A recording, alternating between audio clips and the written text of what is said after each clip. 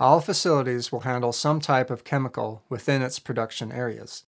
whether these chemicals are part of processing or if they are used for cleaning equipment. Some chemicals should be avoided altogether in a facility, while others are allowed but must be used appropriately to avoid contamination of the product or creating risk to employees.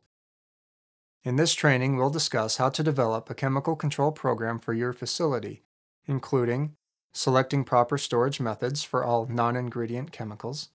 segregating chemicals from non compatible other chemicals and other materials, using a log and inventory to document all chemicals in use within the facility and their storage location, heating safety data sheets and chemical labels, controlling secondary chemical containers to prevent product contamination, approving chemicals brought on site, and